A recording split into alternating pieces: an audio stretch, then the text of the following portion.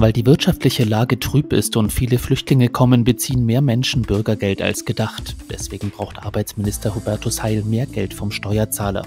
Zu den 2,1 Milliarden Euro, die er bereits beantragt hat, könnten noch weitere Milliarden kommen. Das hat zwei Gründe. Zum einen steckt Deutschland länger und tiefer in einer wirtschaftlichen Rezession, als das vor einem Jahr von politischer Seite prognostiziert wurde. Kein anderes Land in der EU entwickelt sich derzeit so schwach, woraus abzulesen ist, dass einige Wirtschaftsprobleme hausgemacht sind.